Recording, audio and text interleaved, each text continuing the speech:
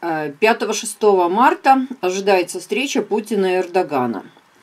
А, вот тут статья Песков. Встреча Путина и Эрдогана будет непростой. Ну, это естественно.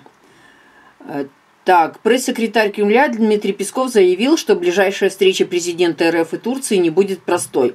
Но Владимир Путин и Реджеп Эрдоган нацелены на урегулирование ситуации в Идлибе. Ну, я очень сомневаюсь насчет Э, Реджепа Эрдогана, что он там это самое что-то собирается урегулировать. А, так, он добавил, что президент остаются привержены сочинским договоренностям и на встрече планирует обсуждение, в том числе и то, как они будут выполняться в настоящее время.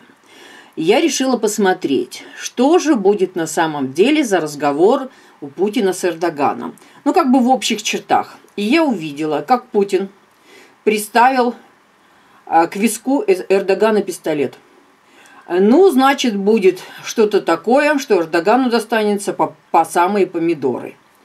И я видела, как Эрдоган опустил голову, э, что-то как бы так печально опустил голову.